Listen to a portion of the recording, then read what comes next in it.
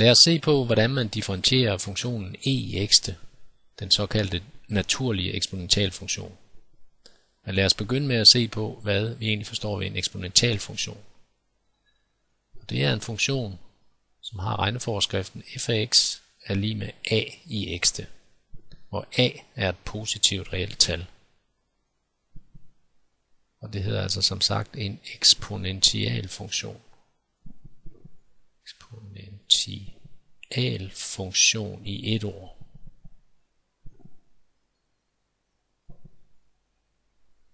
Læg mærke til, at hvis vi ganger med en konstant her foran, konstant vi normalt kalder b, så der står f af x er lige med b gange a i x, så kalder vi funktionen for en eksponentiel funktion i to ord. Men øh, hvad mener vi så, når vi skriver f af x er lige med e i x? Ja, her er bogstavet e. Øh, det kan ikke antage forskellige værdier, men det er et symbol for et ganske bestemt tal.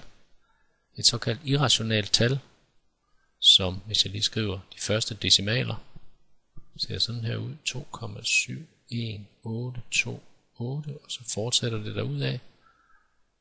Og det er som sagt et irrationelt tal. Det vil sige et tal, irrationalt, tionalt tal. Det vil sige et tal, som ikke kan skrives som en brøk. Og det her tal e og eksponentialfunktionen e i x dukker op mange steder i matematikken, og øh, derfor mener man altså, at, at øh, funktionen e i x har fortjent betegnelsen den naturlige eksponentialfunktion. En af funktionen e i x's helt særlige egenskaber, det er, at hvis man differentierer den, så får man simpelthen funktionen selv. Det vil altså sige, at i et hvert punkt på grafen for funktionen e i x, der har den en, en øh, tangenthældning, som er lige med funktionsværdien i det samme punkt. Den her særlige egenskab, altså at differentialkvotienten for funktionen e i x er e i x selv, vil vi prøve at bevise i det følgende. Men øh, for at gøre det, så skal vi lige se på en, en anden særlig egenskab ved funktionen e i x, og vi begynder lige med at se på generelt på, på øh, grafen for funktioner, for eksponentialfunktioner, altså funktioner af typen fx lige med a i x. Og her har jeg grafen for funktionen fx lige med 2 i x, hvor a-værdien altså er lige med 2. Og der er jo tale om en voksende funktion, Læg mærke til, at den går igennem punktet 0,1. Og det er jo fordi, hvis vi sætter 0 ind på x's plads i regneforskriften her, står der 2 i 0. Det giver 1, og det vil jo altid være tilfældet. Øh, lige meget hvad a-værdien er, så vil øh, den a-værdi opløftet i 0, altid give 1. Så enhver eksponentiel funktion går igennem punktet 0,1. Det kan jeg jo illustrere, hvis jeg ændrer på værdien af a. Nu øger jeg for eksempel værdien vi kan se, at grafen går igennem 0,1, lige meget hvad A-værdien er. Og vi kan også se, at grafen bliver stejlere og stejlere, jo større A-værdien bliver.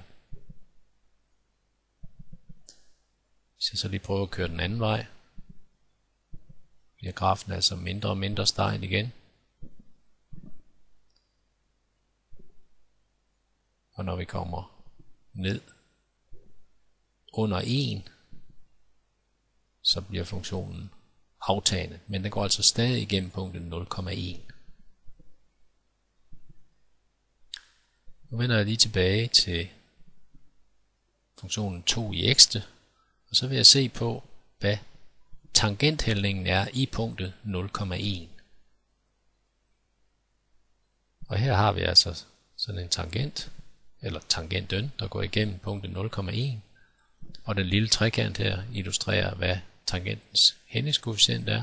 Vi går 1 ud og 0,6931 op her, det vil sige, at tangenthældningen er 0,6913. Det vil også sige, at, at øh, differentialkoefficienten i punktet 0,1 for funktionen 2 i x altså er 0,6931. Så prøver jeg lige at øge min min A-værdi.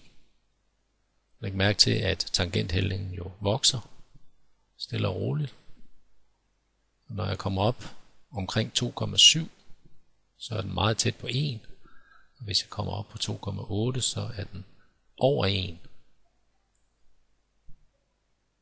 Og det viser sig faktisk, at hvis A-værdien er lige med E, altså er lige med de her 2,7128 osv., så er tangenthældningen i punktet 0,1 lige præcis lige med 1. Jeg kan lige prøve at bare illustrere det her ved at indtaste værdien bare med de, med de få decimaler, vi har skrevet op her. 2,71828.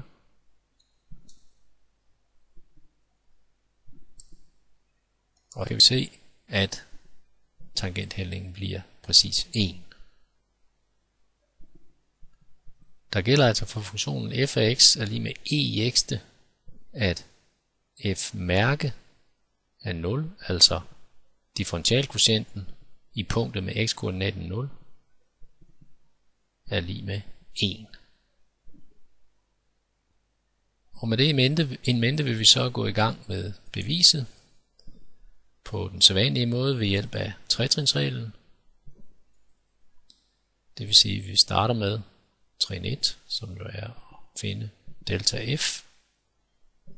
Det vil sige f af x plus delta x minus f af x.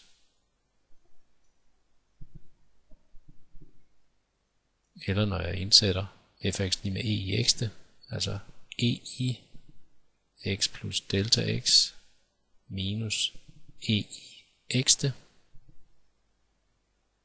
det viser sig nu, at det vil være smart at lige omskrive det her lidt, i det jeg bruger den potensregneregel, der siger, at hvis jeg har et tal opløftet i en sum, lad os sige a i x plus y det her, så er det det samme som a i x det gange a i y det. Hvis jeg bruger den her over på det første led her, så står der altså e i x det gange e i delta x det, og stadigvæk minus e i x. Og nu kan jeg jo så, fordi jeg har e i x i begge led her, sætte det uden for parentes. Det vil sige, at jeg har udtrykket e i x gange, og så ind i parentesen kommer det til at stå e i delta x minus 1. e i x gange e i delta x har vi der, og e i x gange 1 med minus foran har vi der. Så kan jeg ikke rigtig gøre så meget mere ved det, og går derfor til trin 2, hvor jeg dividerer delta f med delta x. Altså finder udtrykket for sekanthældningen. Det er altså e i x gange e i delta x minus 1 divideret med delta x. Og så vil jeg lige skrive det på en lidt anderledes måde i det jeg lige tager det her e i x og flytter ned foran brygstregen. Så der så står e i x gange, og så bryggen her, hvor der så står e i delta x minus 1 divideret med delta x. Så vil jeg også lige omskrive tælleren i bryggen her lidt, fordi vi så bedre kan se, hvad det er, vi har med at gøre. Så der står altså e i x gange. Og så vil jeg skrive e i delta x som e i 0 plus delta x. Det er klart, at 0 plus delta x er det samme som delta x, så det kan jeg lige så godt skrive. Og så vil jeg i stedet for 1 vil jeg skrive e i 0. Alting i 0 er jo som bekendt 1, og derfor er e i 0 jo også lige med 1, så det er det samme som det, der står deroppe og så dividere med delta x. Og lad os så kigge lidt nærmere på bryggen her. Se, hvis der havde stået x i stedet for 0 de her to steder, altså e i x plus delta x minus e i x, ja, så havde bryggen her jo været sekanthældningen, eller differenskoefficienten, som vi kalder den, øh, for funktionen e i x. Øh, og når når x er blevet erstattet med 0, så er det sådan set stadigvæk sekanthældningen for funktionen e i x, men øh, i det punkt, hvor x er lige med 0. Altså i punktet med koordinaterne 0,1, som vi kiggede på ovenfor. Så hele bryggen her, det er faktisk sekanthældningen øh, i det punkt. Og lad os så gå videre til trin 3, hvor vi jo så skal finde f mærke af x som grænseværdien af delta f over delta x for delta x gående mod 0. Det er altså grænseværdien af det her udtryk e i x gange e i 0 plus delta x minus e i 0 divideret med delta x, hele det der udtryk, for delta x gående imod 0. Og øh, når vi kigger på det her udtryk, så kan vi se, at e i x, det, det afhænger ikke af delta x. Så det kan vi faktisk bare smide uden for grænseværdi øh, udtrykket her. Så det vil sige, at f mærke af x, det er lige med e i x gange grænseværdien af ryggen her.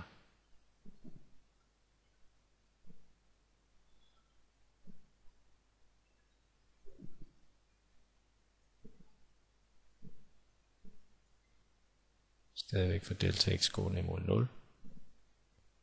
Og når bryggen herinde som sagt jo var sekanthældningen øh, for funktionen e i x i punktet med, med øh, x-koordinaten 0, til i punktet 0,1, så er grænseværdien af det for delta x gående med 0, det er jo tangenthældningen i det samme punkt. Og det vil sige, at det der egentlig står her, det er faktisk f mærke af x er lige med e i x gange f mærke i punktet med x-koordinaten 0, f mærke er 0. Men f mærke er 0, tangenthældningen punktet 0,1 for funktionen e i x, så vi jo ovenfor, var lige med 1, og derfor kan vi jo skrive det her som mærke af x er lige med e i x gang 1, altså lige med e i x. Så når vi differentierer funktionen, og funktionen er jo e i x, så får vi funktionen selv e i x.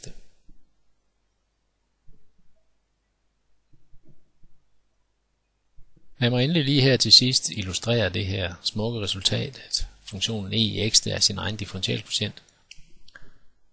Øh, og det kan jeg gøre på den måde, at jeg øh, har tegnet ligesom før en, eller en øh, eksponentiel funktion, i det her tilfælde at den hedder 1,5 i x, det er den sorte kurve, og så har jeg bedt GeoGebra her om at differentiere funktionen, og differentialprocenten er så den røde kurve. Og nu vil jeg så ændre min a-værdi.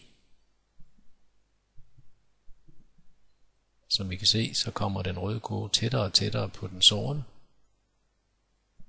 Og når vi kommer op på 2,7, så ligger de praktisk talt oven i hinanden, hvis vi øh, indtastede den præcise værdi, eller næsten præcise værdi, med flere decimaler for, for øh, e, i stedet for 2,7, så ville de ligge fuldstændig oven i hinanden.